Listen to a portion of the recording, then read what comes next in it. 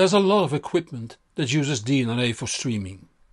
How does it work and what's the best way to stream high quality music?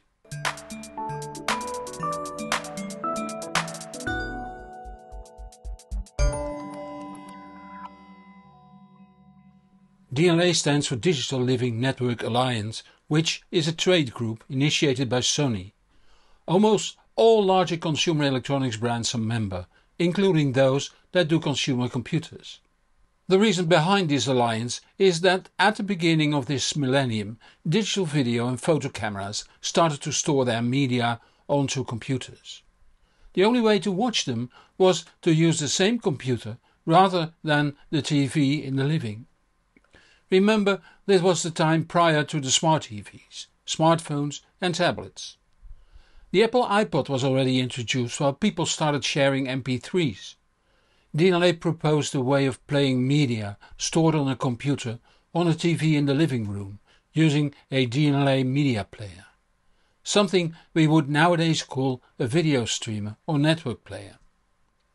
DLNA is based on Universal Plug and Play protocols, UPnP, since many DLNA members also own a content company and had a desire to discourage the use of pirated films and music, DLNA did not support or rather block file formats that were used for pirating, like MP3 for audio and MKV for video. Upcoming Asian brands found a way around it by using UPnP AV extensions. Nowadays DLNA supports all popular formats, so there is no functional difference between DLNA and UPnP AV. The only difference is that DLNA certified equipment is guaranteed to work with other DLNA equipment, but UPnP AV equipment in practice works just as good.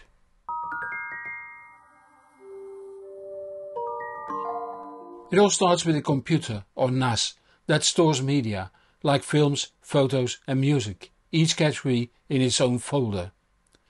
It has to run a DLNA server program, which consumer Windows computers might already have installed. Linux computers might not and Apple computers definitely don't. Not a problem, there are many DLNA server programs available for free and as byware. The computer has to be connected to your router. It is most likely already since you need to be connected to the internet nowadays. The same goes for modern smart TVs and set-top boxes.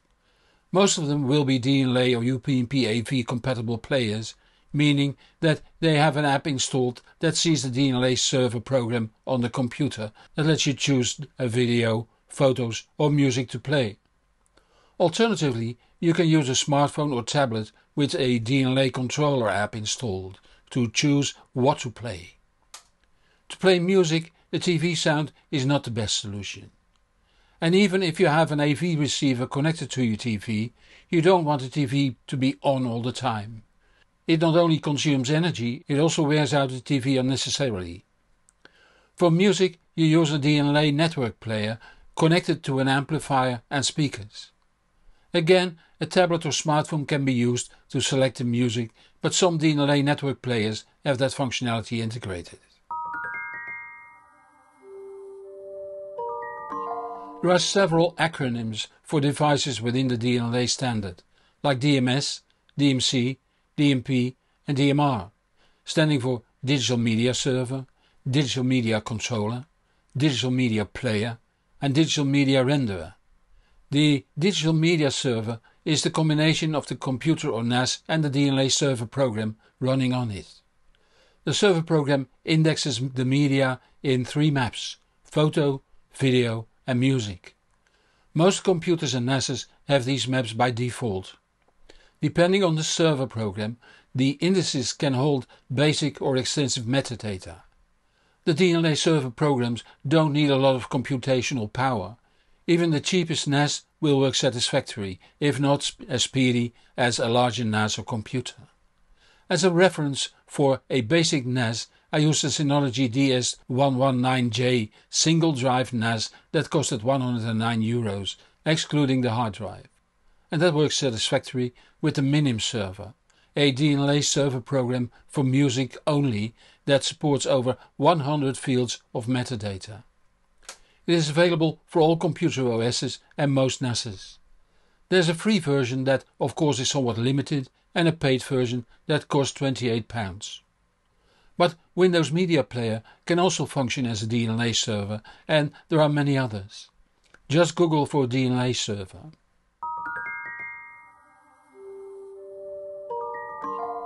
Before smartphones and tablets came to market, you could buy remote controls for the DLNA server program. They had a small display and some used an iPod inspired rotary encoder for selecting the music. Others used arrow keys.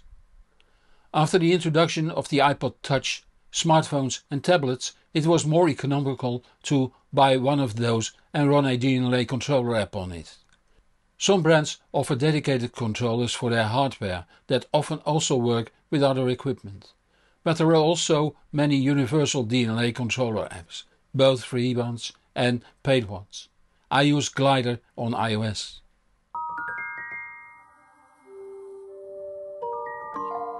This is the DLNA equivalent of a network bridge. Its only function is to receive digital media from the server program and play it out. For video and photos, the Smart TV, Blu-ray player or set-top box fulfills this function, so dedicated media players for videos and photos have become obsolete. For audiophile music the situation is partly different. It can be a box like a Raspberry Pi running RoPieee XL or the SOTM SMS200 set to DLNA on one side or integrated in an amplifier or AV receiver on the other. Many brands like Arcam, Cambridge Audio, Denon, Linn, Marantz, Sony, Onkyo, Panasonic and many others offer DLNA certified amps and receivers. It is good to mention that in the beginning DLNA players were not able to play albums gapless. This means that for instance Sgt. Pepper's by the Beatles, most Pink Floyd albums, live albums and many classical albums had short mutes in between tracks. Nowadays most DLNA players can play gapless but it doesn't hurt to check before buying.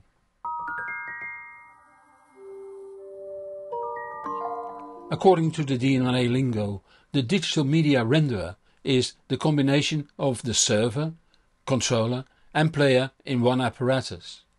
This is a rather obsolete concept, in general because play functions have been integrated in amps and receivers and storage in a computer or NAS is cheaper.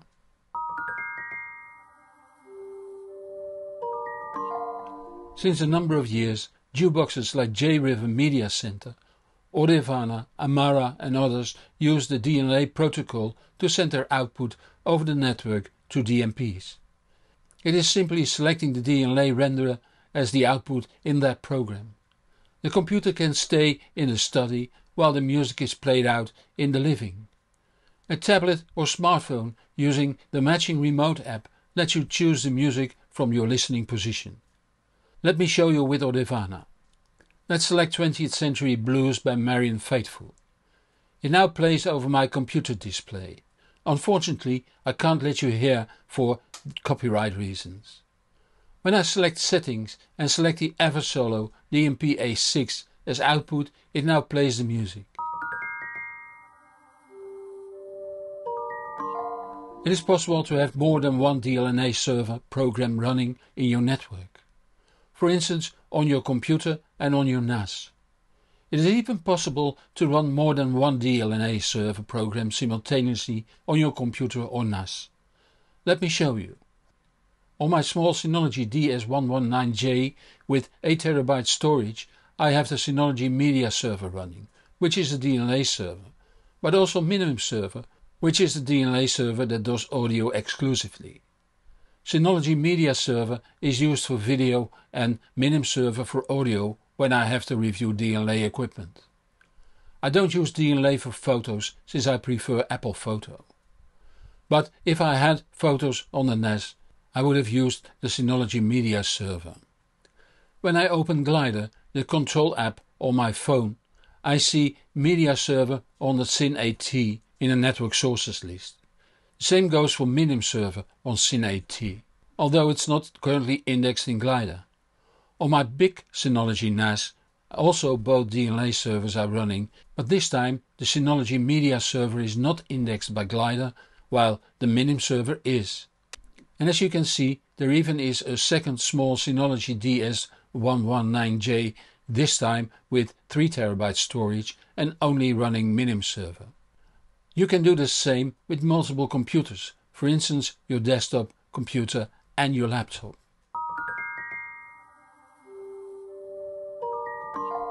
DLNA is lossless and supports high-res files up to 192 kHz, perhaps even more, but I don't have the hardware to test that. By the way, not all DLNA hardware does 192 kHz, which means that the files need to be downconverted. Some DLNA server programs can do this, others don't. Do realize that the DLNA server program defines the features of the system. If you want to be able to search on director, the server program has to index the director field in the metadata. If you want to see lyrics, the DLNA server has to facilitate this. And the speed of the hardware where the DLNA server runs on defines a large part of the speed you can browse your music with. Hardware demands are not high, but there is a clear difference in speed between a cheap NAS and a big NAS or computer. Once the music plays, there is no difference since the demands for music file transport are low, even for a cheap NAS. The advantages of DLNA are its low price and the extremely high number of brands offering products. Also the fact that it is a relatively open standard is a pro. Which brings me to the end of this video. As usual there will be a new video next Friday at 5pm Central European Time. If you don't want to miss that, subscribe to my channel or follow me on the social media so you will be informed when new videos are out. Help me reach even more people by giving this video a thumb up or link to this video on the social media. It is much appreciated. Many thanks to those viewers that support this channel financially.